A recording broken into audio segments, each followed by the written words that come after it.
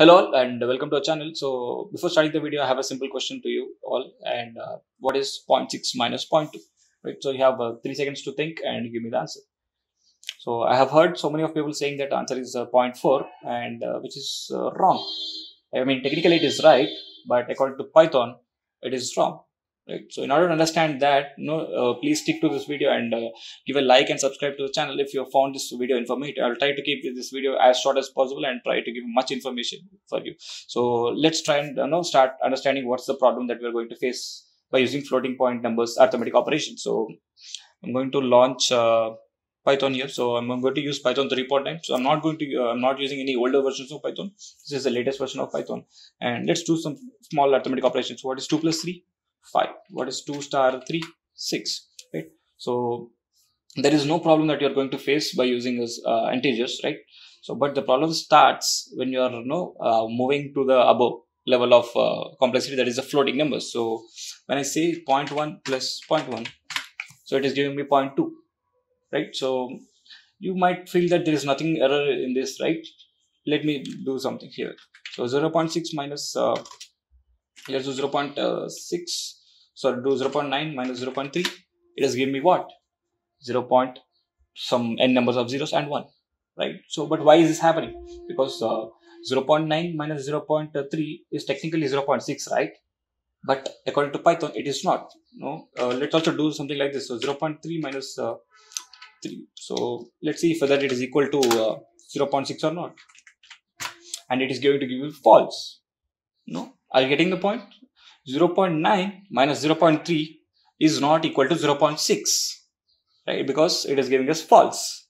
And to be honest when I, first time i saw this i was like shocked right? No why is that happening right? So is there any wrong with my system or is there wrong with my python installation? But there is nothing wrong with python installation. There is nothing wrong with your computer. This is how the things are done right? So as i said previously 0.6 minus 0.2 is not going to give us 0.4 but in fact is going to give us 0.3 some 10 nines or 12 nines and 7 and if you ask me why is this happening this is because the way floating numbers are being represented in python itself right? So first of all uh, you need some back knowledge of what is happening. So let's say you know that right? So in uh, machine so everything is stored in the form of uh, ones and zeros right? So everything is a binary right? So even if you're trying to know uh, store integers they are going to be stored as binaries. And the same thing here even if you are trying to uh, know store floating point numbers they are going to be stored as fractions. That is uh, they are going to be you know uh, converted into base uh, base 2 uh, values that is uh, decimal numbers from by converting them into fractions. So these numbers are converted into fractions. Fractions are then converted into base numbers. And in fact there is an entire entire article on uh, python documentation about that. We'll also see that. And uh, also uh, if you observe right so uh, this has to do nothing with python right? So python has nothing uh, to do with this. And this is not a bug but this is how uh, machines are built right? So as you know python so when we say python we are implementing to c python right? So traditional python is nothing but c python. So c python is being built on c right? So it is being built using c language and in C languages, the numbers are uh, represented in a base two base two numbers, right? So uh, the the representation of floating numbers in Python is similar. In fact, it is same as how the numbers are being represented in uh, C language. Right? You might also know that there is another version of Python called as PyPy. Is, I call it as PyPy. You might be calling it as PyPy or something like that. So the difference is PyPy is not built on C but it is built on uh, JIT compiler. And I'm not sure about the specifics, what happened in really. But uh, when I say Python, that in even in the computer codings, right? So when you select Python, you are using C Python by default. But when you are using PyPy, you are using JIT compiler. JIT is nothing but just-in-time compiler. So that is why uh, no, you might have uh, observed that you are getting better uh, runtimes with PyPy. So let's try and implement the same thing with the PyPy. So I have uh, chosen a PyPy editor. So for this, I'm going to use ideone.com. So ideone.com is a, a, pretty good source for uh, online editing tools. So I'm going to use PYP PyPy here. And if I you know run 0.6 minus 0.2, then this is going to be give me giving us uh, our exact answer, the answer that we are uh, expecting. right? So, but when I go for traditional Python, so that is Python 3, so I have uh, used GeeksforGeeks IDE here. And now if I print that, I'm not going to get 0.4, but in fact, I'm going to get 0.3 something and uh, 7, right? So I hope you understood the problem, right? So you understood what's uh, wrong here. And let me just give an example. Uh, sorry, let me just you know, give a complete walkthrough here of why this is happening and what are the ways that which I can uh, you know, uh, overcome this error, right? So as I've said, there is an uh, documentation of every issue and limitation of uh, with floating point arithmetics in Python, right? So I have I will link this uh, in the description. You can check that out for yourself. So let's try and read this document so that uh, you will understand along with me, you know, of each and every quirks in dealing with floating point arithmetics, right?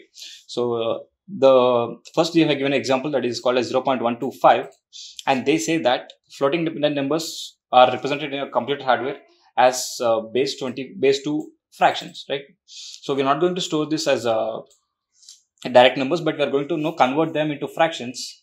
And uh, these fractions are then converted into base 2 numbers right? So in the end everything is going to be zeros and ones that is binary uh, numbers. But for floating numbers, they are going to be converted into fractions, binary fractions, and then they are going to convert into base 2 numbers. Right. So for 0.125, we are going to say 1 by 10 plus 2 by 10 plus 5 by 10. So it is going to give us uh, 125. The same, same thing with 0.001. Right. But here comes the problem, right? So how we are going to represent 1 by 3? That is, we are trying to divide one unit into three people, right? So I can say it is 0.3 right? So I will ask another person, he will say, no, it is not 0.3, it is 0.33. And another person says that 0.333. In fact, all of them are right, right? You cannot uh, no argue that uh, a particular answer is wrong, but all the answers are right, but they have different level of uh, error, right? So they all are approximate answers because no one knows the exact answer of 1 by 3 right because it is a continuous function it is an infinite uh, function sorry infinite fraction right? So no one knows the correct answer. So if I say 0 0.10 then 0. Uh, sorry 0 0.10 then someone with answer like 0 0.12 is also producing an answer which is better than me. So basically he's doing the better approximation than me, but he's giving me the same, same answer. So the answer is same, but it, it levels uh, differs on different degrees of how we are approximating the number.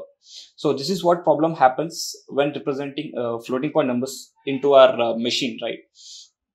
So when you're trying to know uh, store a number uh, called as 0.1, you're not going to store 0.1. You're going to store uh, 0.000. This, this is a binary representation, and this is an infinitely repeating fraction, right? So when when you face some infinitely repeating fraction, there has to be a point where you cut off cut the number because uh, you cannot store infinite bits in the computer right so uh, the computers are built in such a way that you know uh, everything is uh, fixed right so you have an integer you have a fraction integer has three bits or integer has four bits or so i'm just giving random numbers here.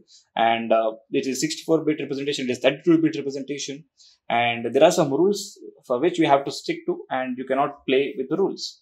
The same thing happens here. So when trying to represent fraction numbers so we are going to uh, be uh, you know, given with some uh, repeating fractions and uh, we cannot represent infinitely repeating fractions into a finite space, right? So there has to be some kind of uh, cut where you know, we say, okay, this is where I'm going to you know, stop uh, the number and I'm taking this much of an error here.